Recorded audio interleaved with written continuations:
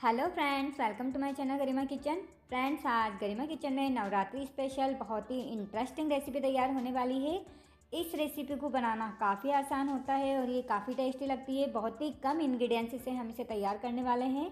ये ऐसा व्रत का नाश्ता है, जिसे आप बिना व्रत के भी खाना चाहेंगे और इसे बनाने पर हमें लाइक पनीर टिक्के जैसी फील्स आती है। ये रेसिपी आपके घर वालों को ज़रूर पसंद आएगी, इसलिए इस नवरात्र आप इस रेसिपी को अपने घर पर ज़रूर ट्राई करें। तो चलिए फ्रेंड्स देर ना करते हुए शुरू करते हैं रेसिपी बनाना। व्रत की रेसिपी बनाने के लिए सबसे पहले हमने यहाँ पर लिया है सावे का आटा।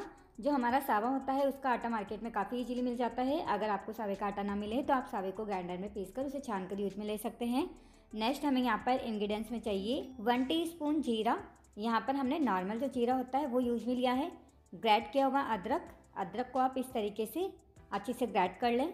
नेक्स्ट हमें यहाँ पर चाहिए one teaspoon black pepper salt according to taste rock salt सेंधा नमक इसके अलावा हमने यहाँ पर लिया है मूंगफली दाना। यहाँ मूंगफली दाने को पहले मैंने रोस्ट किया। उसके बाद इसको मिक्सी में इस तरीके से अच्छे से ग्रैड कर लिया है।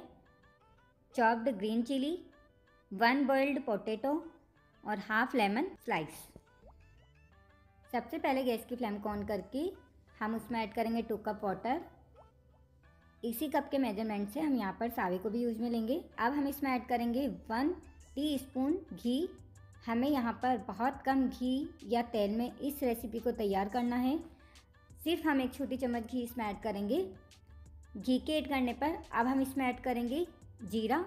हमने यहाँ पर जो नॉर्मल जीरा यूज़ में लिया था, उसी जीरे को हम इसमें ऐड करेंगे। आपको यहाँ पर सिक्का हुआ जीरा यूज़ में नहीं लेना है। चॉप्ड ग्रीन चिली ग्रेट किया हुआ अदरक one teaspoon black pepper salt और स्वाद के अकॉर्डिंग सेंधा नमक। और इन सभी चीज़ों को हम अच्छे से मिक्स कर लेंगे। इन सभी को अच्छे से मिक्स करने पर इसी स्टेप पर हम इसमें ऐड करेंगे वन कप सावे का आटा। जो सावा का आटा हमने यहाँ पर अभी तैयार किया था, उस आटे को हम यहाँ पर ऐड करेंगे। आप एक बात का ध्यान रखें कि बॉईल करते समय हमने यहाँ पर दो कप पानी लिया था तो हमें यहाँ पर एक कप सावा यूज़ में लेना है। सावे से डबल क्वांटिटी में हमारा पानी होना चाहिए और इसे हम इन सभी के साथ अच्छे से मिक्स कर लेंगे और इसे कंटिन्यू चलाते रहेंगे। आपको इसे चलाते समय रेस्ट हाथों को नहीं देना है, इसे आप लगातार चलाते रहे ताकि ये पानी को अच्छे से ऑब्ज़र्व कर सके। आप इस रेसिपी को बनाते समय उन इंग्रेडिएंट्स को स्किप कर सकते हैं जो आप रख में यूज़ में नहीं ले सकते हैं।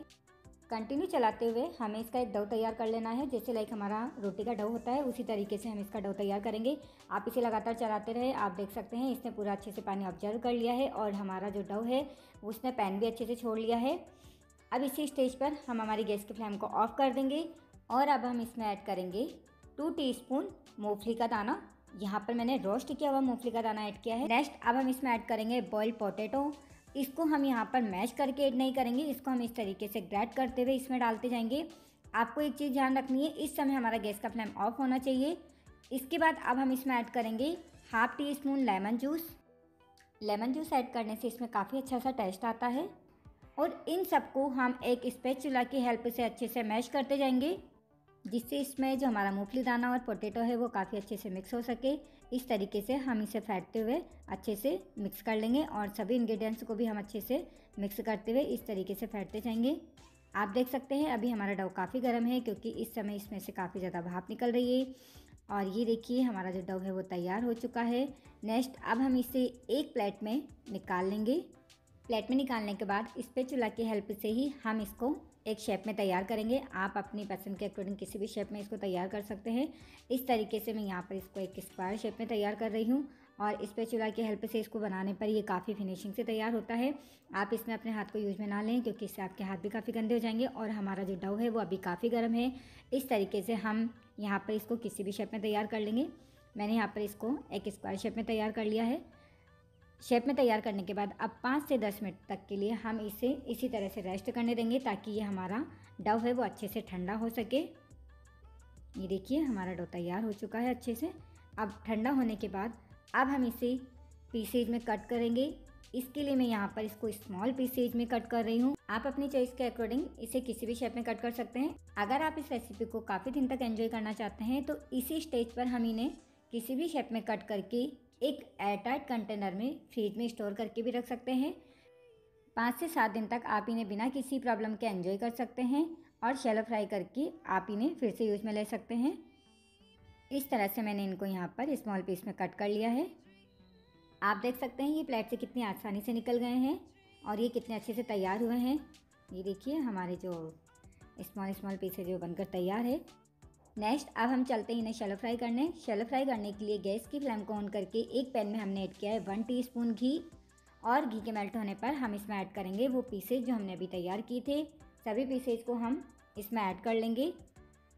इस पूरी रेसिपी को बनाने के लिए हमने यहाँ पर केवल दो छोटी चम्मच घी यूज़ में लिया है। इस तरीके से अब हम इन्हें अच्छे से दोनों तरफ़ से गोल्डन ब्राउन होने तक मीडियम फ्लेम पर तैयार करेंगे। ये देखिए, पाँच मिनट मिनिमम इनको तैयार होने में लग जाता है। आप देख सकते हैं, एक तरफ़ से ही हमारे अच्छे से गोल्डन ब्राउन हो चुके हैं, इसी तरह से हम इन्हें दूसरी तरफ़ से भी गोल्डन ब्राउन कर लेंगे। दो मिनट बाद आप फिर से इन्हें चेक करें, ये दोनों तरफ़ से अच्छे से गोल्डन ब्राउन हो चुके हैं। इतने ही हमें इनको गोल्डन ब्राउन करना है। आप दो मिनट इसको सिर्फ़ क्रिस्पी होने तक चलाते रहें, आप इन्हें कंटिन्यू चलाते रहें। नॉन स्टिक पैन होने का ये फ़ायदा है कि इसमें कोई भी चीज़ चिपकती नहीं है। ये देखिए, हमारे स्मॉल स्मॉल पनीर टिक्का वाले लाजवाब रेसिपी बनकर तैयार है। आप इस रेसिपी को एक बार ज़रूर ट्राई करें। अब मैंने यहाँ पर इस तरह की स्मॉल स्टिक ली है और एक स्टिक में हम कुछ फाइव सिक्स पीसेज को इस तरीके से अरेंज करेंगे। ये देखिए, जैसे हम हमारे पनीर टिक्के को अरेंज करते हैं, उसी तरीके से हम इसमें इनको अरेंज करेंगे। हमारी स्पेशल नवरात्र स्पेशल व्रत की रेसिपी बनकर तैयार है। आप इसे बिना व्रत के भी ज़रूर बनाकर ट्राई करें। कितना अच्छा से इनमें गोल्डन ब्राउन कलर आया है। इसी तरीके से हम हमारी सभी स्टिक्स को तैयार कर लेंगे। मेरे द्वारा यूज़ में लिए गए किसी भी प्रोडक्ट को अगर आप परचेज करना चाहते हैं तो उसका लिंक मैंने डिस्क्रिप्शन बॉक्स में दिया हुआ है। आप वहाँ से जाकर उसे परचेज कर सकते हैं। आप देख सकते हैं, इसी तरह से हम हमारी सभी स्टिक को तैयार कर लेंगे। ये देखिए, हमारी लाजवाब नवरात्र स्पेशल व्रत की रेसिपी बनकर तैयार है। किसी भी फेस्टिवल पर आप इसे बनाकर ट्राई कर सकते हैं। खाने में काफ़ी टेस्टी लगती है और ये काफ़ी क्रिस्पी होती है। अब हम इनको सबसे पहले सर्व करेंगे। सर्व करने के लिए एक प्लेट में हमने जो यहाँ पर स्टिक तैयार करी थी, उन सभी स्टिक को यहाँ पर अरेंज कर लेंगे। हमारी व्रत स्पेशल सावे की रेसिपी बनकर तैयार है। आप इसे दही और टमाटर की चटनी के साथ सर्व करें। इस नवरात्रि आप इस रेसिपी को एक बार ज़रूर ट्राई करें। आई होप फ्रेंड्स आपको मेरे द्वारा बनाई गई रेसिपी पसंद आई होगी। अगर आपको मेरी वीडियो पसंद आई हो तो प्लीज़ मेरे चैनल को लाइक, सब्सक्राइब और शेयर करना ना भूलें। फिर मिलेंगे इसी तरह की नई रेसिपी के साथ। तब तक के लिए बाय फ्रेंड्स।